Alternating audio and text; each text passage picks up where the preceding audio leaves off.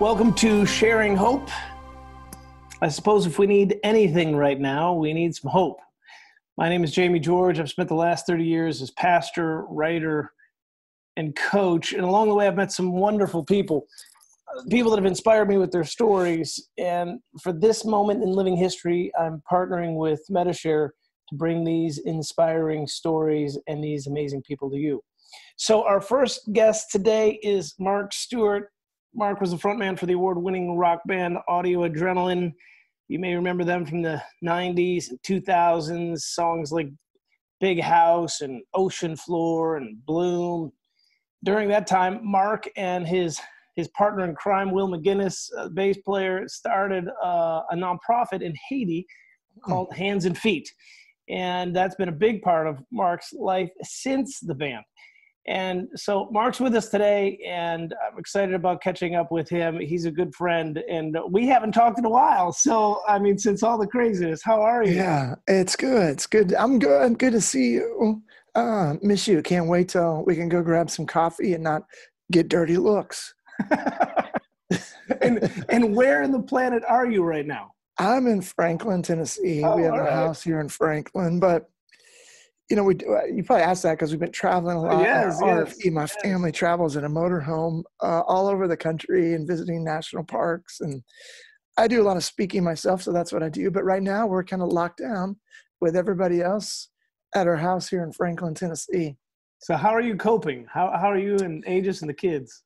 you know it's it's been a journey uh you know it's just there's been good days and bad days you know i lost my job you know so what i was counting on for the whole year for salary is gone Yeah, yeah. um so my whole life is kind of wrapped up in events or live entertainment at you know at this point which has pretty much been that way my whole life and Yeah.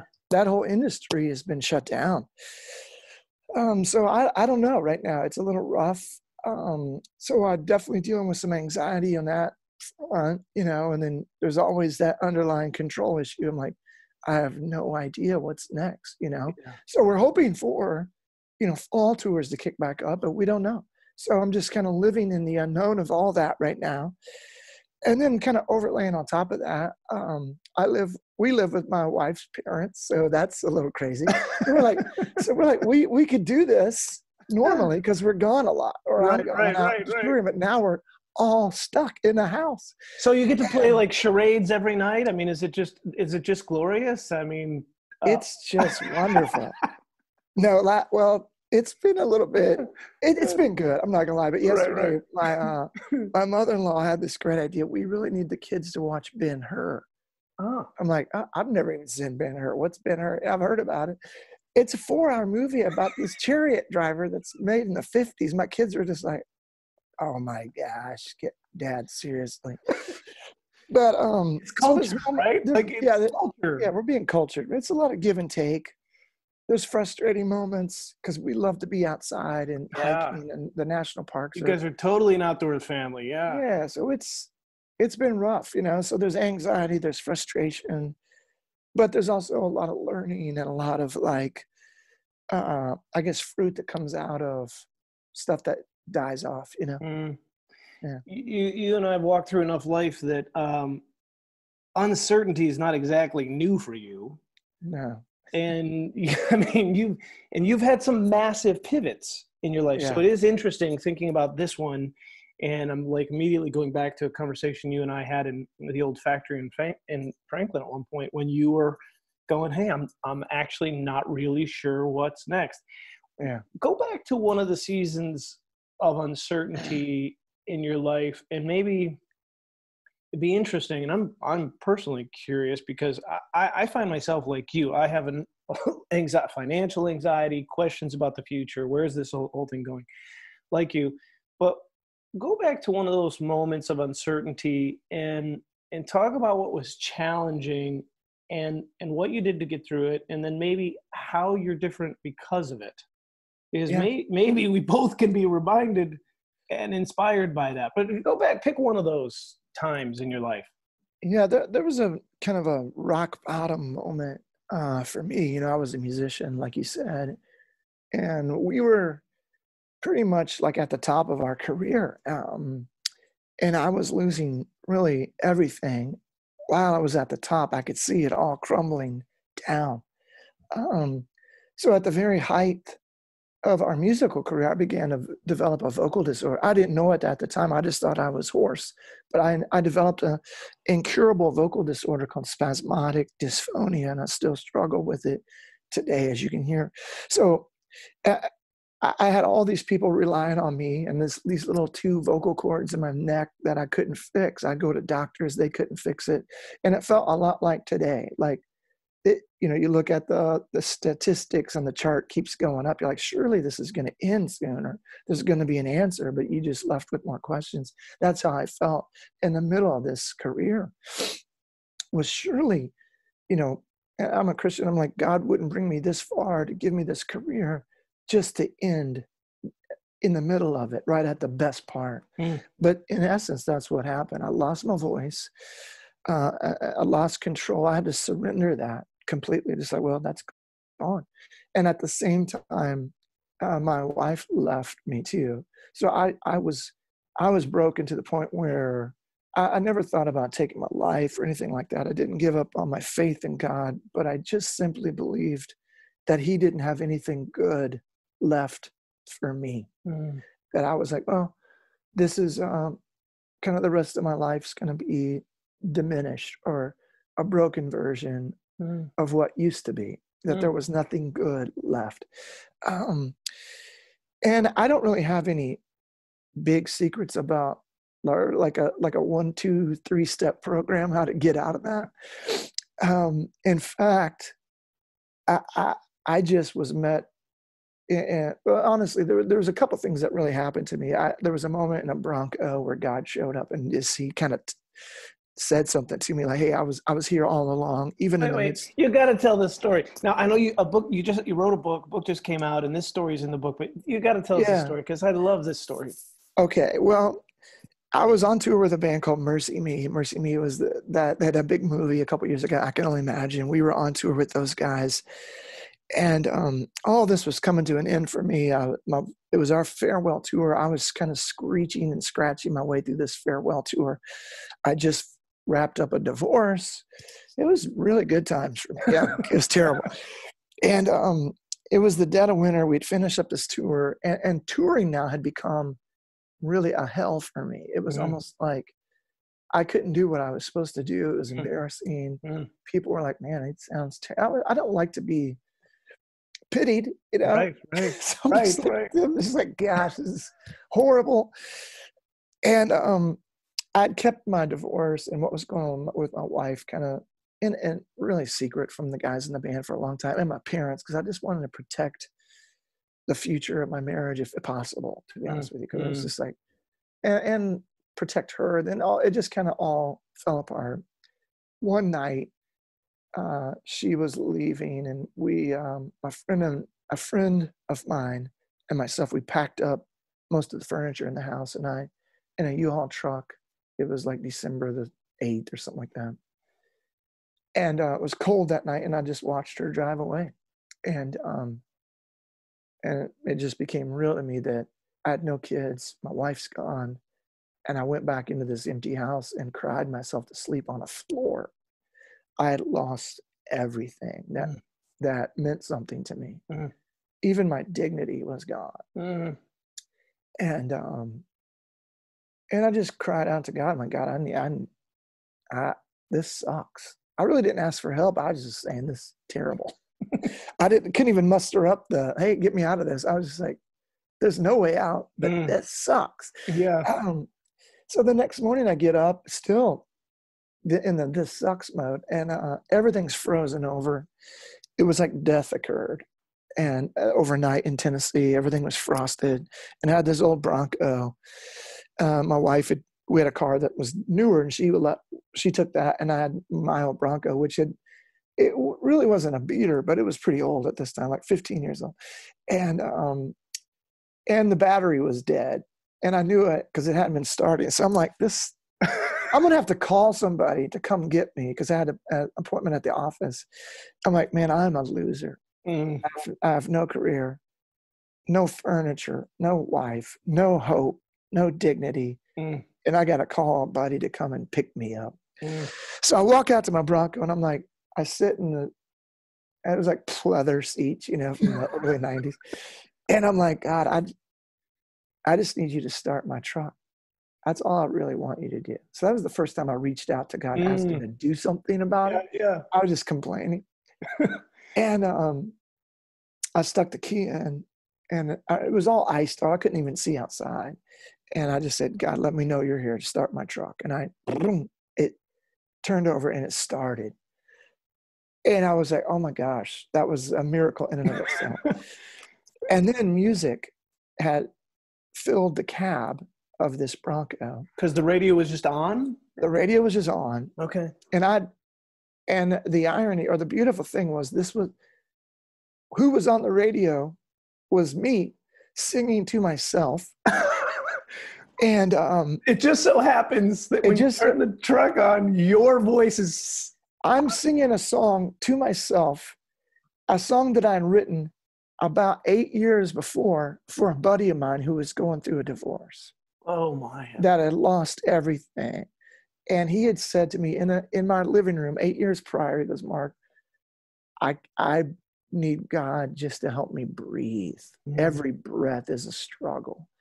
I just have to be reminded that he and he goes, but it's the I've lost everything, but it's the most beautiful time of of reliance on God that I've ever experienced. And I'm like, I gotta write a song. So I wrote him the song called Good Life about the the kind of the juxtaposition of losing everything to find what was really important. Mm. And in that moment, in that Bronco, eight years later, the moment I asked God to start my truck, He not only started my old Bronco, He romantically filled my cab with a Mm. song that said, "I've, I've got you, and yeah, you've lost everything, but you're gonna, you're about to find everything you ever need right here." Mm. And that was that. I didn't do anything but ask God to start my truck. So Mm. I don't have anything for your listeners except maybe just ask God for something small Wow. and watch Him do something big. Wow. And then at that point in my life, I started to move. The, the surrender took place because I had to. I, I didn't really willfully surrender my musical career, Hmm. but I, I did surrender it ultimately because I just couldn't do it anymore. I didn't willfully surrender my marriage, but it just happened. Uh, and ultimately, I didn't willfully surrender really my whole life because I was a control freak. Hmm. But in that moment, all that kind of happened, and I realized there was an author writing something bigger, more beautiful in my story, even to the point where he's putting moments together eight years prior Mm. that this God is romantically involved in my life, and especially in the broken pieces, because that's where he's doing his best work. Mm.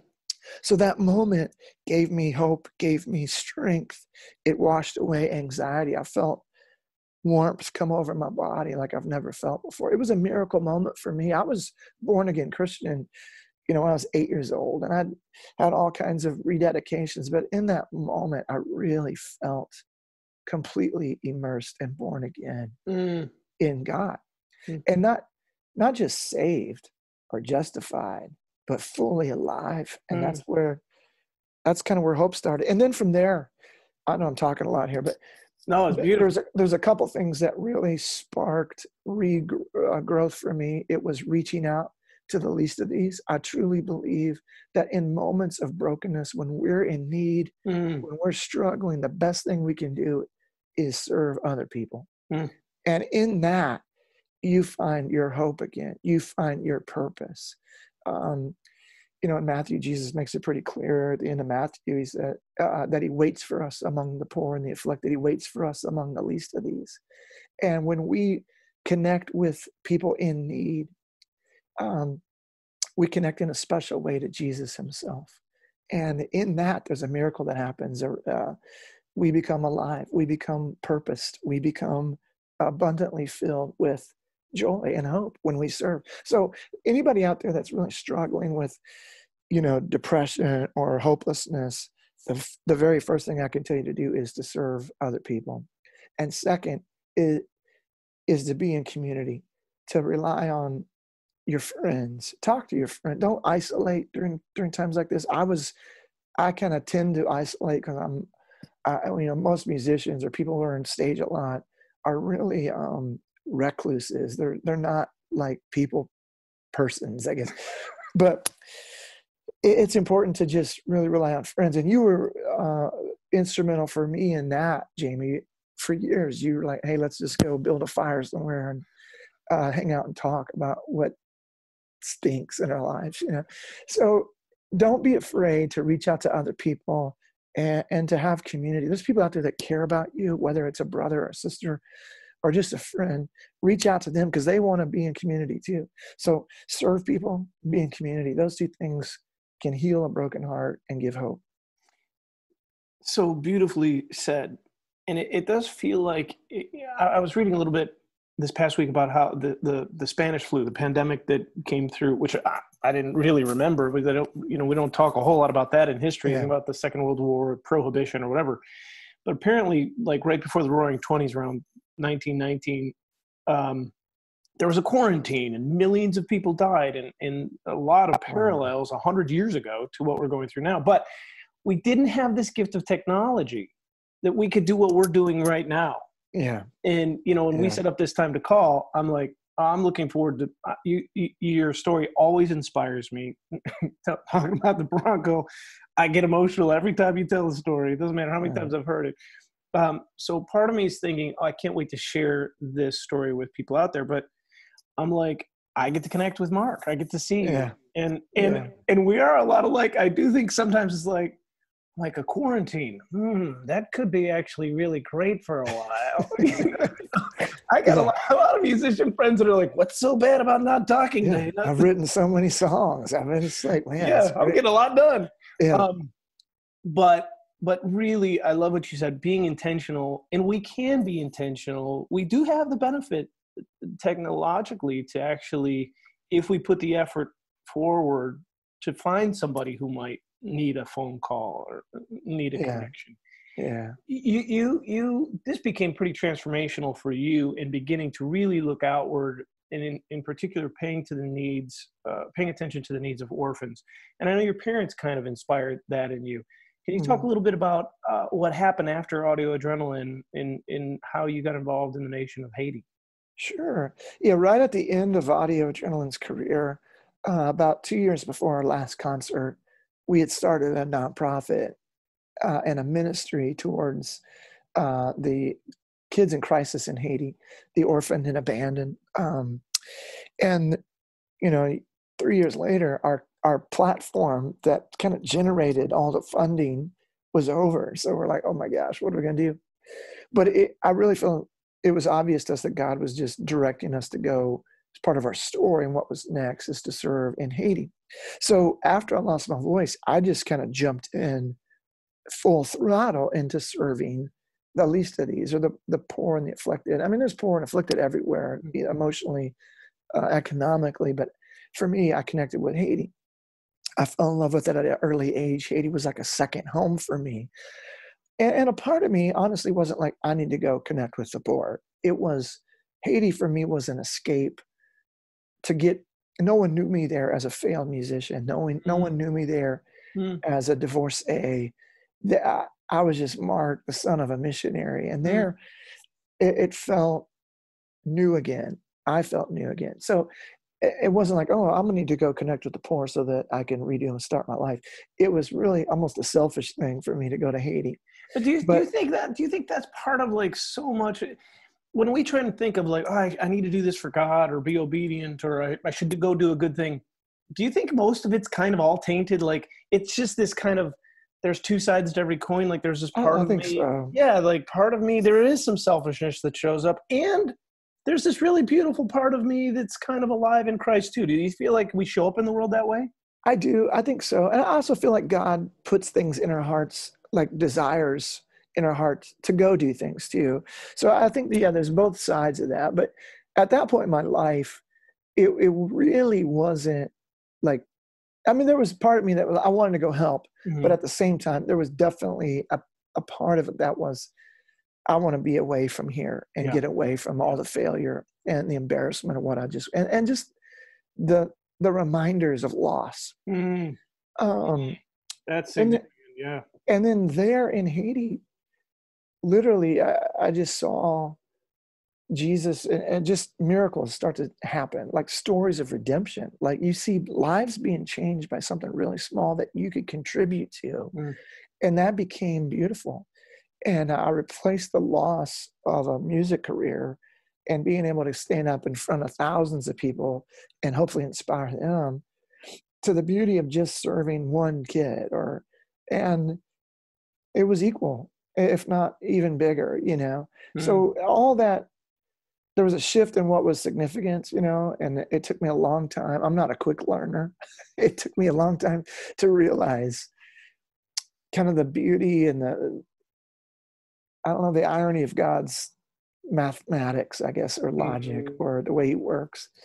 Um and that's what's helping me today you know because i'm not really significant right now at all except here in my little house you know i can Mhm. be the best dad that i can be. And that's just as important as being the best musician or rock star or the best missionary i can be today the very best husband i can serve my wife or my mother-in-law or my parents i can make a phone call and those things are just as significant as anything that's being done in washington d.c or wherever Mm. um, and we have to remember that as human beings we have to affect what we can affect Mm. and and be positive where we can make that change Yeah, I remember that book by Dallas Willard, uh, "The Divine Conspiracy," and he talks about a kingdom is is whatever. I love that we can we affect what we can affect. The kingdom is kind Yeah. of essentially what's what's in our little sphere. yeah And for most of us, our kingdoms were really shrunk. yeah Like this, you know, this is the, and yet isn't Jesus' teaching is, hey, there's a much bigger kingdom out there, and if you'll align with it and with me in the way, then Yeah. Yeah, somehow you'll see the light of God differently and show up in the world differently, maybe. yeah yeah, So you, yeah I- go ahead no, I was just gonna say you're an adoptive parent, and Yeah. and and talk about. I mean, because it's interesting. I love what you just said. Who you are as a dad right now, it's it's just as significant as who you were as that father who adopted those children out of a really difficult circumstance. Like that feels like. Like I would imagine, I'm not an, a, I'm not a father who's adopted children, but I would imagine it feels feels pretty significant in that moment when you adopt kids who are in a really difficult circumstance. Like, oh, okay, I'm really I'm affecting their lives, plucking them out of this situation and the- they're a new one. But it doesn't change, right? Like you're still a dad today, showing up in this kind of average day, and the Yeah. significance is it's it's just as powerful right now as it was the moment of adoption. yeah every day's uh, yeah a chance to to really be born again and really to kind of recreate your life all over again you know Yeah. that's, um, that's true and that once you realize that uh, your measurement of, of significance and success is quite different uh, which is cool and, and i forgot I, I didn't really go into what happened after audio Aid. so i did go to haiti and we started this ministry called the hands of feet project i got off on a tangent sorry No, that's And, good. um, oh, that's good. And we started serving kids and we and it's still there today i'm still part of it, the hands and feet project and they're dealing with the coronavirus there just as we are but i'm praying to god it doesn't uh, Has it go has it hit the viral there. orphanage yet?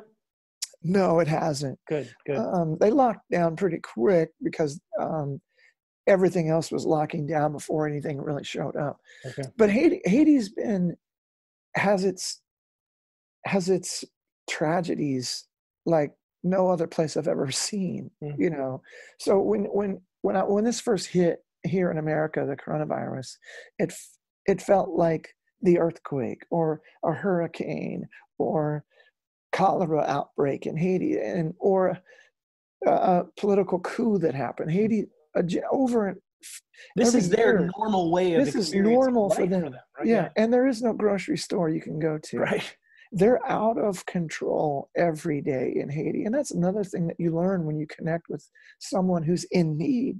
Mm. Is you get to see what it really looks like to be even in less control than you are, Mm, because it's all a facade anyway. Mm. Control is, but you, it's an eye-opening experience of about how surrender, um, and that's what was beautiful about working in Haiti for the last 14, 15 years.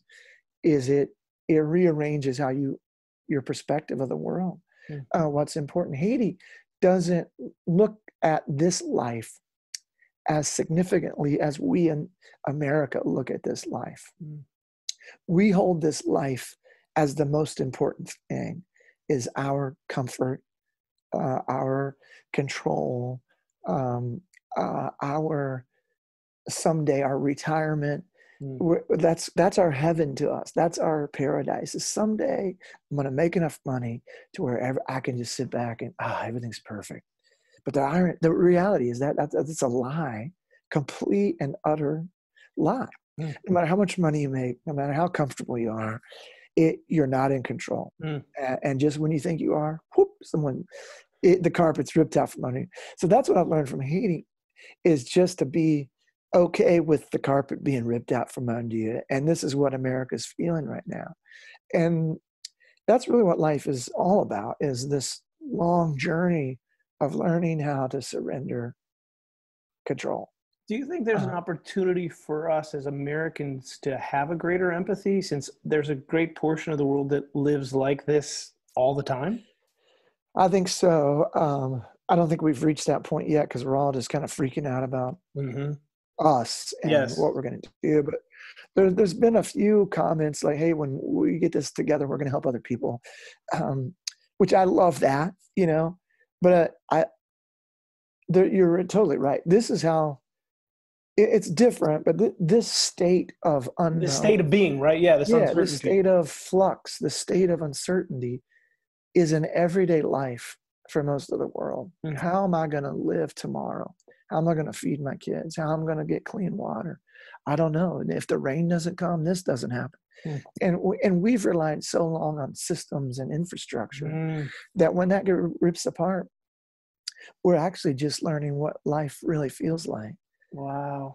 uh, because we've been numb to real life because we've built this system of comfort and Mm. control. Mm. And it's probably really good for us. it actually is. It's good for our country to feel it because this is this is really the reality that most of the world lives every day. So if that Mark Stuart who post the band just early on, going back to Haiti, getting kind of immersed again, because you've been serving in Haiti for years anyway, but really throwing yourself into that work, healing and leaning into the uncertainty. If that Mark Stuart showed up at your door, said, Hey, come on out here, sit on the front porch, let's have some coffee, and he looked at you and said, Hey, I know you're feeling uncertain again. Yeah. This is what I want to remind you. What would Sure. your old self say to yourself today? I I would um I would say don't I know this is a bad phrase, but don't waste what is it? Don't waste a good uh, tragedy or whatever it is. right, right, right, right. in in moments like this, it, it's your time really to eh, to lean into the creator Hmm. and, and to explore who you are, your true identity, because all that comes out in times like this. You're not going to die, Hmm. Uh, uh, probably. I mean, some Right, people right, might, but right. but even if you do, um, I, you know, life ends in death anyway. But I don't want to belittle that, but there's there's something bigger than your life or what's in, what you think's important. But I would just say, God's in control. Um, lean into Him, and something beautiful is going to happen at the end of this that you could never imagine. You know, God, Jesus promised us this abundant life, and I feel like that really means, uh, in essence, a life of the overflow. It's things that you never can imagine are going to happen Mm. and and a big part of that is when we surrender what we hold on to what we don't want to lose we find something bigger and better Mm. and um so that old mark would probably come to me and say don't i know you're anxious but don't be anxious i know you're frustrated but don't be frustrated this is a beautiful moment Mm. and in a in just a moment you're going to realize what i was doing uh, during the process and it's going to be it's going to be different. It might not look as significant as your business might not be as significant. You know, your career might not in, in a in a different perspective, but it's going to be bigger and more beautiful. And I'm that God's good. That's what I would tell myself. Hmm. I love that. So, if folks wanted to hear a little bit more of your story, um, where could they? Is the book out there like Amazon and all that stuff? Because Yeah, it's everywhere. You could um you kind of connect uh, to my I have a, uh, a website called Mark Stuart Media, M A R K S T U A R T media.com. You can go there and order the book. You can get a free, um, you can get a chapter if you just want to check it out and get a free song uh, from my buddies Kevin Max and Russ Taff, two of my favorite vocalists. And Wait, did they do a song that. together? Yeah, they sang, the, they redid the song Good Life, the song that came on in the Bronco. Oh my goodness. Yeah, and those two were like Russ Taff is like I don't know if people, listeners out there know who he is, but I think he's one of the greatest vocalists of all time. Uh, he was the reason, well, one of the biggest reasons I became a singer was Russ Taff. Hmm. And then after I lost my voice, uh, Kevin Max stepped in and took over for the band Audio A. So these were kind of bookend vocalists. Wow. And they're and they're both beautifully broken, redeemed people. You know, in, in There's a lot of flavor between. Them. Oh gosh, guys. man, they're amazing. Yeah and uh, so they sang that a duet. I, I kind of sing on a little bit, squeak out a note. but the song that I heard in the moment where God showed up in my Bronco, they recut it. Oh man! And so you can get that free on that website. But you can also connect to the Hands and Feet Project. Uh, some of my social media. I'm not a big social media person, but whatever. You can follow my family and our journeys, and you can connect to the Hands and Feet Project. Um, and, and, definitely learn how you can help and get involved. If, if Haiti's on your heart and you want to do something there, you can sponsor a child, you can, and get involved in that way. And I, I say that um, not only because it, it changes that kid's life, that child's life, but it really does change your life when you connect with the poor and the least of these. If you're not doing that, connect to a child, make a difference in their life, give them hope. Um, and in doing so, let your kids and your family experience the beauty of God's storytelling because it's amazing. Beautiful, Mark. Thank you so much for being with us, and uh, and thanks for sharing all those things, man. I'm good to see your face, yeah, brother. Yeah, you. Get together soon. Say hi to Aegis and Journey and Crystal, the in-laws. Say hi to everybody for me. Tell Angie and the kids hi to you, man. I can't. I will. I will. You too, brother. Take care.